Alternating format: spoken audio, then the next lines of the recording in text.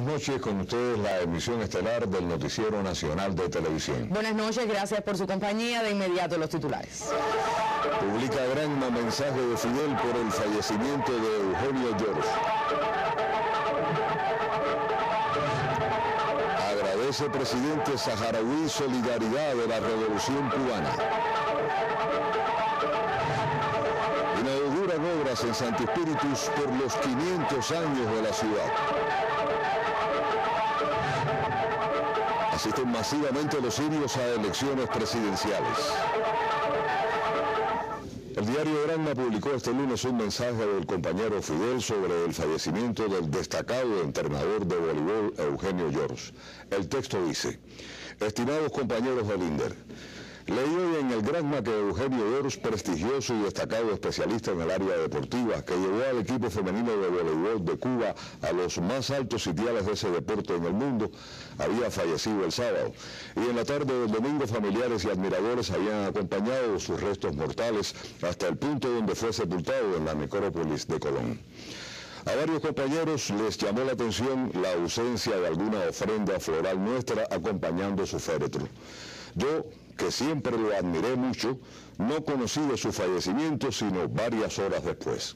Fraternalmente, Fidel Castro Ruz, junio 2 de 2014. Y como parte de su visita de trabajo a Cuba, el presidente de la República Árabe Saharaui Democrática, excelentísimo señor Mohamed Abdelaziz, asistió a un acto en solidaridad con la causa de su pueblo.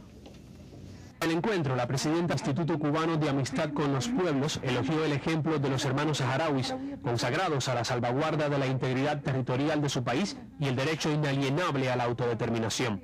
Además, ratificó que Cuba continuará apoyando esa causa y mantendrá su colaboración con el gobierno y pueblo saharauis.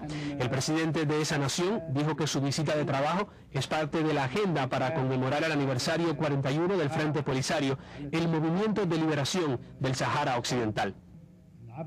Queremos expresar aquí eh, nuestra satisfacción por el ambiente de hermandad y solidaridad que ha conocido ese entendimiento entre ambas partes y por el compromiso de solidaridad y apoyo expresado por su eh, presidente.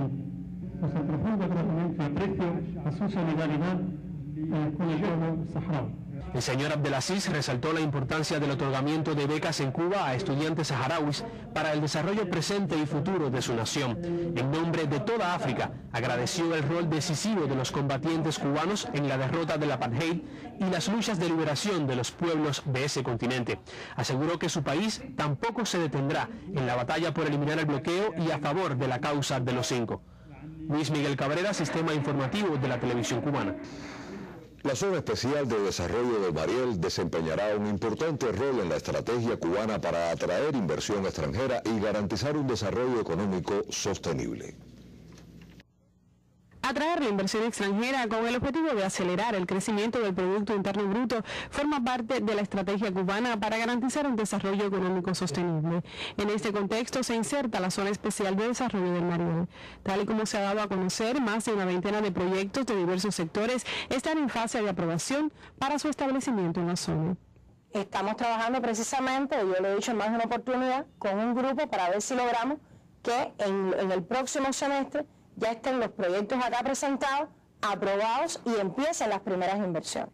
Y estamos trabajando de conjunto con las empresas y organismos que garantizarían las obras de infraestructura para poder eh, condicionarle a cada inversionista que posea, una vez que sea aprobado, una nivelación en siete servicios, es decir, una parcela donde establezcan sus inversiones y servicios tales como agua, electricidad, corrientes débiles, gas, alcantarillado, acueducto, eh, acueducto alcantarillado, telefonía e infocomunicaciones, para que puedan contar con toda la base de infraestructura que les permita después establecerse adecuadamente en la zona. Coexistirán allí, aseguró la directiva, empresas cubanas, empresas mixtas o asociaciones económicas internacionales y las empresas de capital totalmente extranjero con iguales beneficios. Los proyectos están en concordancia con las prioridades establecidas por el país. La zona es una zona no considerada como una zona franca. Es una zona donde el principal tributo lo van a dar las empresas que realizan actividades productivas. Y son los sectores hacia los cuales nosotros estamos encaminando nuestra promoción y la atracción de los inversionistas, tanto nacionales como extranjeros. Y eh, existe concordancia, además, muy buenos proyectos, proyectos muy interesantes, incluso de empresas de prestigio internacional que se han acercado a la oficina y que están tributando proyectos que van a generar eh, nuevas fuentes de empleo, que van a sustituir importaciones, generar exportaciones, que van a coadyuvar al encadenamiento productivo de las empresas cubanas, lo cual sin duda va a favorecer el desarrollo tecnológico del país y el mejoramiento de eh, las condiciones económicas. En el contexto de la Ley de Inversión Extranjera, la Zona Especial de Desarrollo del Mariel deberá desempeñar un rol esencial, considerado por la máxima dirección del país como el proyecto más importante iniciado por Cuba en los últimos 50 años, tributará en su totalidad al desarrollo económico nacional. Rosana Thompson, Casa Mayor, Sistema Informativo de la Televisión Cubana. Y varias obras de importancia social y económica fueron inauguradas en la ciudad de Santi en vísperas de la celebración del aniversario 500 de la fundación de esa villa. Dicen quienes bien la conocen que no recuerdan una ciudad de San Espíritus tan bella como la de hoy. Y es que para las festividades por el medio milenio de su fundación, gran parte de la villa se ha transfigurado. El cambio más notable se aprecia en el Parque Serafín Sánchez Valdivia, epicentro de la vida citadina espirituana, que ahora tiene una imagen muy parecida a la de 1914 cuando fue edificado. Además, todos los inmuebles que lo rodean recibieron acciones de conservación y rehabilitación. A la inauguración del nuevo parque asistieron el miembro del secretariado del Comité Central del Partido, Jorge Luis Cuevas, y decenas de personalidades invitadas a los festejos. Esta fue la jornada de reapertura del Museo Casa Natal del Mayor General Serafín Sánchez Valdivia y con la presencia de Mirta Rodríguez, madre del héroe de la República de Cuba, Antonio Guerrero, fue reabierto el emblemático restaurante 1514. Luego quedó inaugurada la oficina del conservador de la ciudad. Aquí fueron presentados el libro Santi Spiritus Aniversario 500, Fundación y Conmemoración y una revista editada por la agencia Prensa Latina. Este día también quedó inaugurado el Centro de Interpretación, donde está ubicada la maqueta de la ciudad. Las personalidades que visitan la villa también asistieron a una exposición retrospectiva del pintor de la ciudad, Antonio Díaz, a una muestra del periodista y fotógrafo Raúl García Garal y a la inauguración de este mural de José Perdomo. Son ellos tres creadores que con su arte rinden homenaje a Santi Espíritus. Alain Jiménez, Sistema Informativo de la Televisión Cubana.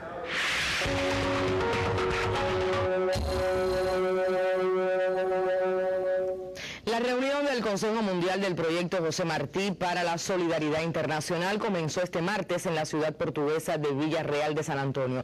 Desde allí nos reporta el periodista Dani González Lucena.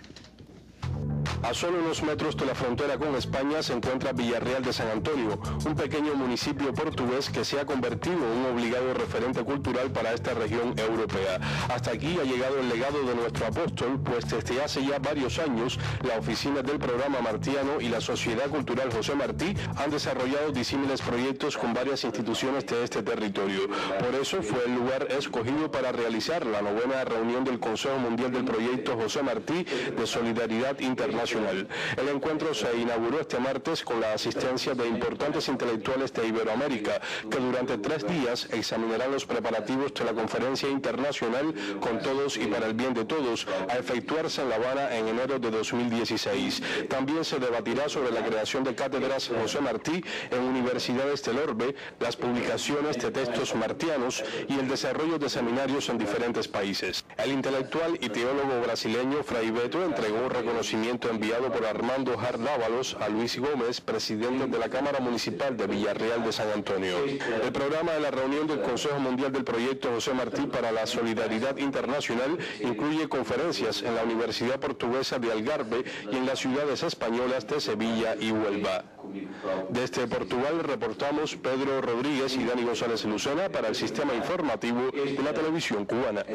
La jornada electoral en Siria se extendió hasta las 12 de la noche, hora local, debido a la afluencia masiva a las urnas de personas que desafiaron las amenazas de grupos terroristas. Se trata de las primeras elecciones presidenciales multipartidistas en Siria, donde 16 millones de ciudadanos pudieron elegir entre tres candidatos.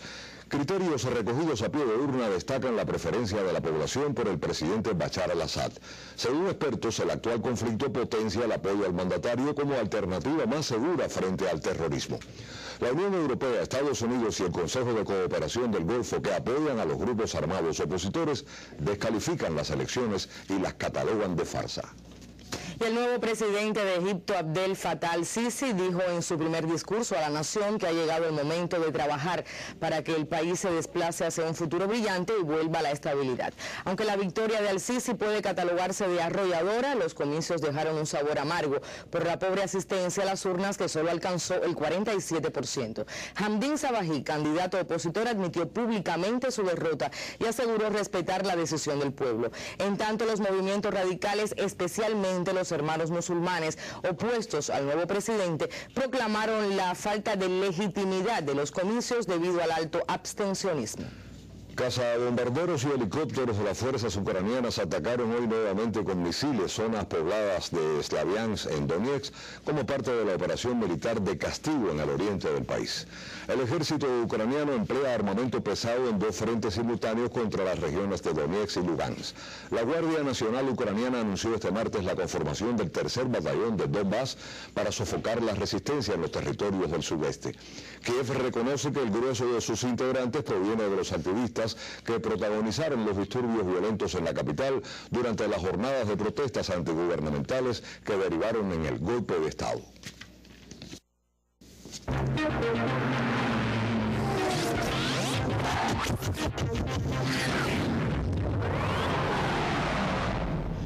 Buenas noches amigos. Dos grandes eventos internacionales tendrán lugar el próximo fin de semana y en ellos estarán presentes atletas cubanos. Me refiero al Grand Prix de Judo que reunirá varias de las principales figuras de este deporte en el mundo aquí en el Coliseo de la Ciudad Deportiva durante viernes, sábado y domingo y la gran final de la cuarta serie mundial de boxeo en Bakú, Azerbaiyán, viernes y sábado desde las 11 de la mañana. El Grand Prix tiene como incentivo que otorga puntos para el ranking mundial que dará clasificación olímpica. Los ganadores recibirán 300 puntos, los medallistas de plata 180, los de bronce 120 y los quintos lugares 60 unidades. Para el judo cubano representa la gran oportunidad de follar a 48 figuras al más alto nivel, 24 de cada sexo, ya que el país puede presentar a cuatro judocas por división. Interés especial despiertan las revanchas como la de nuestro subcampeón olímpico de Londres y titular mundial en Río de Janeiro 2013, Asley González, y el georgiano Barlan Lapirtaliani, con resultado de dos victorias para cada uno. También están los posibles duelos entre la campeona olímpica de Londres, la brasileña Sara Meneses, y la cubana María Celia Laborde, a quien venció en el Panamericano de Ecuador en los 48 kilogramos, o el de Erika Miranda, subcampeona mundial también de Brasil, y la medallista de plata en Londres, Janet Bermoy de Cuba, en los 52. Tendremos judo de alto nivel con eliminatorias en la mañana y la discusión de las medallas desde las 5 de la tarde durante viernes, sábado y domingo próximos.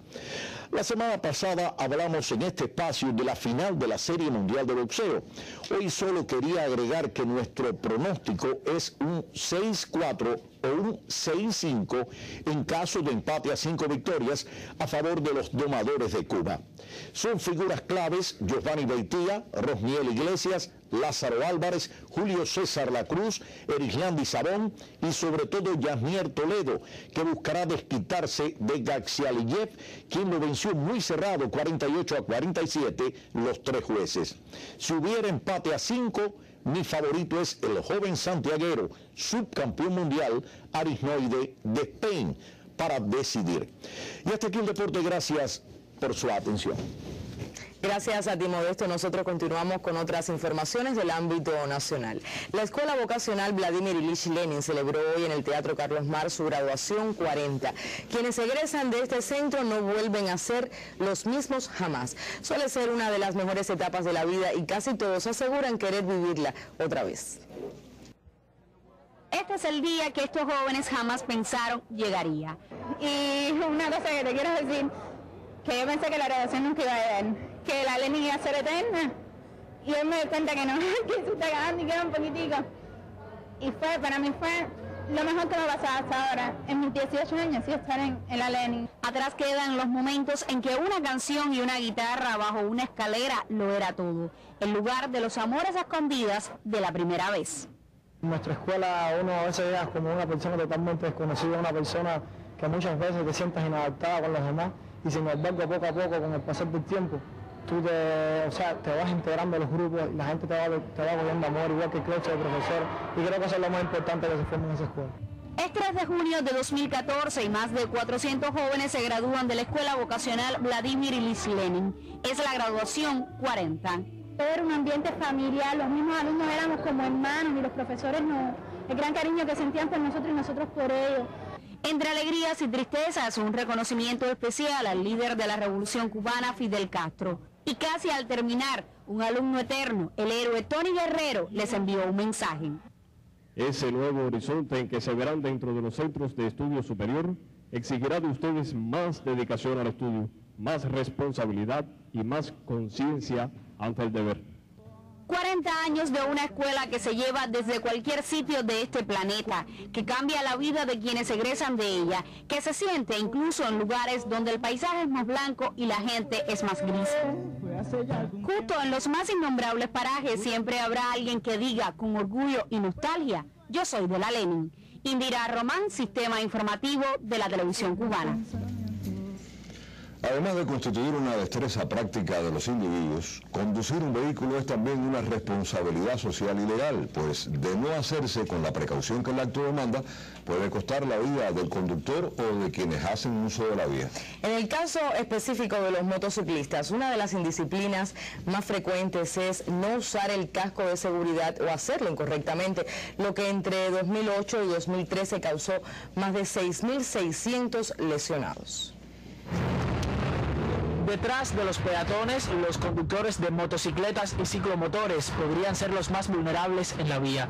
Quizás porque la mayor parte de su cuerpo carece de protección a la hora de conducir y las leyes solo exigen el uso de un aditamento que proteja el cráneo, el rostro y en algunos casos la médula espinal. Casco me porque se me, un carro se un y y y choqué con él, lo impacté y le di con la cabeza. ¿Por qué usted usa el casco? Porque es obligado. Están aquellos que usan el casco, pero de forma incorrecta. Hay incluso eh, conductores o pasajeros que se ponen el casco hacia atrás. Entre 2008 y 2013, los conductores de motocicletas y ciclomotores fueron responsables de 6.824 accidentes. También constituyeron casi el 12% de todos los fallecidos en la vía durante ese periodo. El artículo 72 de la Ley 109 establece la obligatoriedad de pasajeros y conductores de usar debidamente abrochado el casco de seguridad.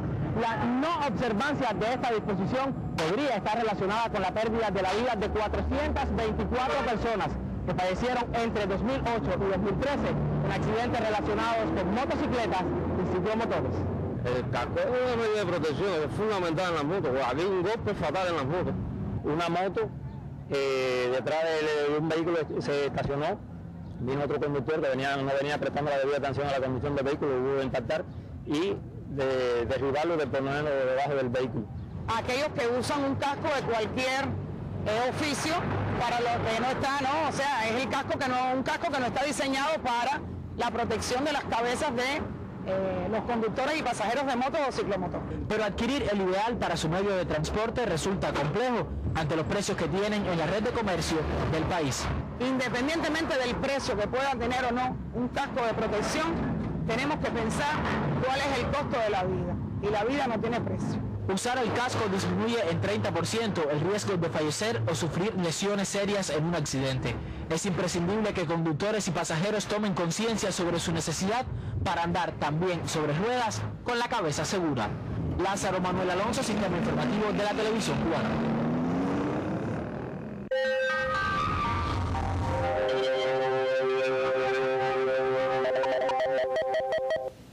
Muy buenas noches. Continúan los nublados y las lluvias sobre gran parte del país y les muestro las imágenes del satélite meteorológico que los nublados cubren todo nuestro archipiélago con actividad de chubascos, algo fuertes en zonas de la costa norte, sobre todo desde Matanzas y hasta la provincia de Camagüey. Las lluvias más fuertes se encuentran sobre el estrecho de la Florida y se relaciona todavía con la persistencia de esta vaguada sobre el Golfo de México, sumado a ello condiciones favorables en la atmósfera superior.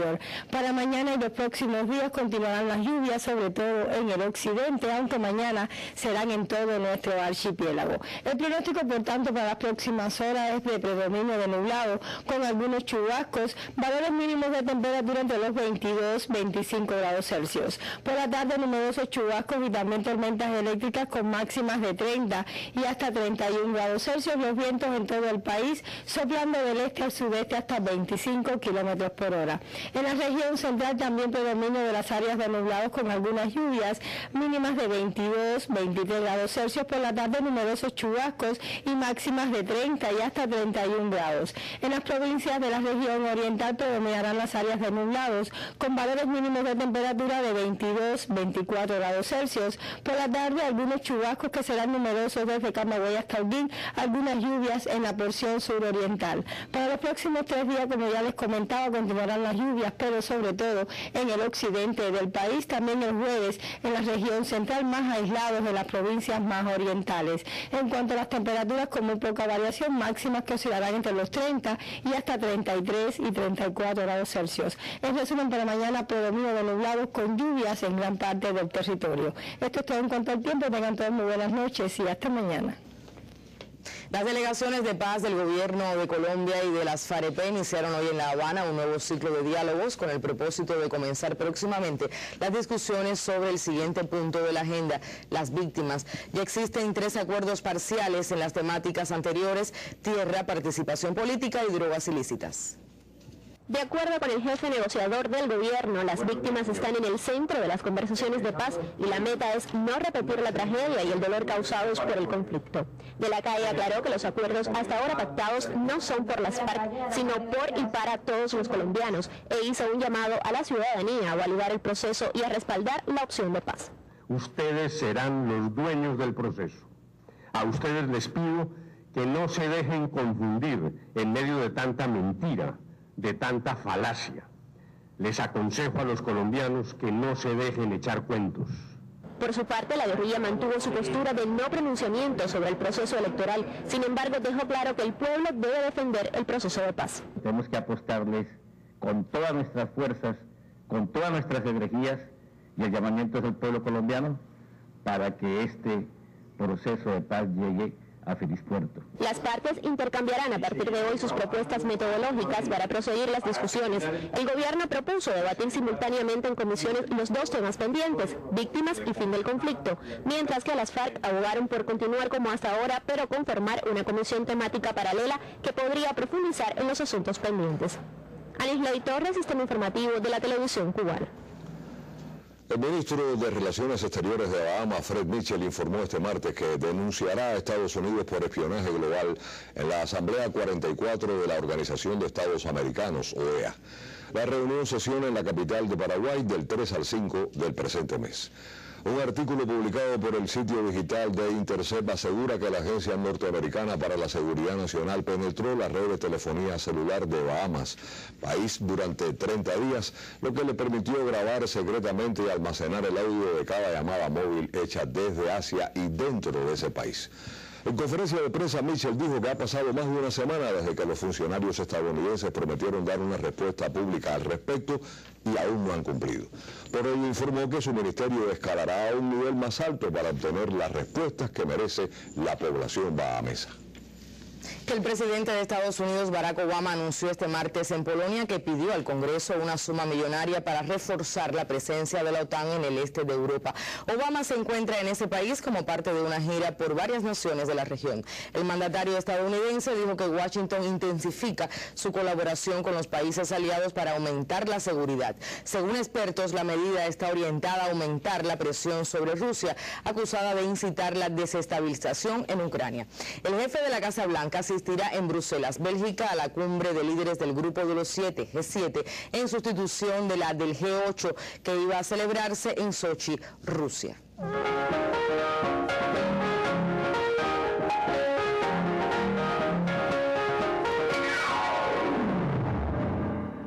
Buenas noches. En la sede nacional de la Unión de Escritores y Artistas de Cuba se reunieron como cada mes artistas e intelectuales para denunciar la injusta condena de los héroes cubanos presos en cárceles de Estados Unidos. En la oportunidad, en su duodécimo encuentro, acompañaron esta velada por la justicia miembros del cuerpo diplomático, personalidades y amigos de 19 países de Asia, África, Europa y América. En las citas se intercambiaron experiencias, se contaron anécdotas y se mostraron audiovisuales sobre los héroes cubanos prisioneros en cárceles de Estados Unidos. Se encontraba presente en la ocasión Elizabeth Palmeiro, esposa de Ramón Labañino. Al cierre de esta nota, el cantautor Gerardo Alfonso dedicaba cinco canciones a los cinco héroes cubanos. Y este miércoles 4 de junio se celebran los 500 años de la ciudad de Santi Espíritus. Una de las acciones por la efeméride fue la entrega de los premios del concurso de artes plásticas, campanas y vitrales del Centro Provincial de Patrimonio. Los escolares participantes se inspiraron en las bellezas de la cuarta villa fundada en Cuba. Desde hace 15 años, el Centro Provincial de Patrimonio Cultural de Santi Espíritus promueve el concurso de plástica infantil. En cada nueva edición del evento se suman más pioneros a cuidar de la ciudad. Yo dibujé la, iglesia mayor, las calles empedradas, con vitrales. Sentimos sus pasos al pasar el tiempo las personas que fueron pasando por sus calles de piedra, los que miraron a su iglesia, los que pasaron sobre el puente de Ayabo, los que se asomaron al río. En ella se expresan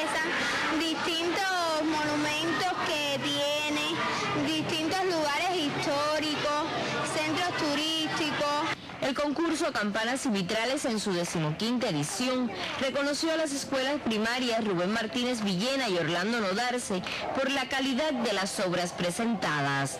Los cerca de 200 trabajos son un canto a Santi Espíritus en sus cinco siglos.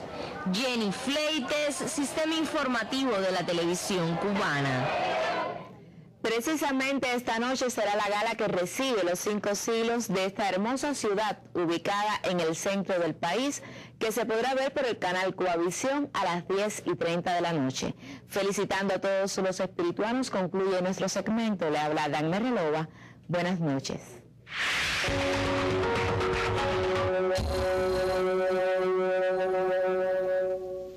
Nacional cubano José Martí afirmó, los que sienten la naturaleza tienen el deber de amarla. Con ese espíritu nacieron las fotografías que integran la exposición Martí y la naturaleza secreta inaugurada en el Memorial José Martí de esta capital y que impulsa las celebraciones por el 5 de junio, Día Mundial del Medio Ambiente.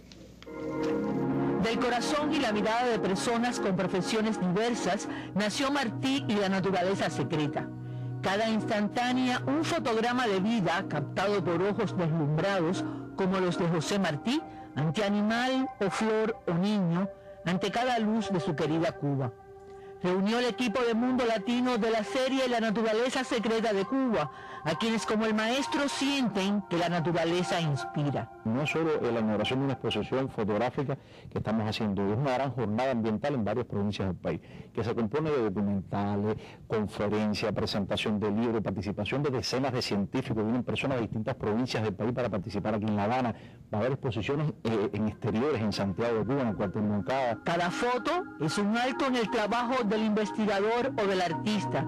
Es un impulso de emoción que intentan conservar en el mundo digital y que llevarán a comunidades de costa y de montañas de la isla. Suma Mundo Latino a su expresión de imagen y sonido del mundo real el recurso de la fotografía, una manera de enseñar a conservar la vida y alcanzar lo que José Martí señaló como ley, donde la naturaleza tiene flores, el cerebro las tiene también. Gladys Rubio, Sistema Informativo de la Televisión Cubana. Y fueron titulares en la emisión estelar el mensaje de Fidel por el fallecimiento de Eugenio George, publicado hoy en el diario Granma. El agradecimiento del presidente saharaui por la solidaridad de la revolución cubana. Inauguración de obras en Santi Espíritus por los 500 años de la ciudad y la asistencia masiva de los sirios a las elecciones presidenciales. Finaliza así la emisión estelar. Antonio Nápoles, Áñez Becerra, deseamos pasen todos muy buenas noches. Con el deseo de que se mantengan informados. Hasta mañana.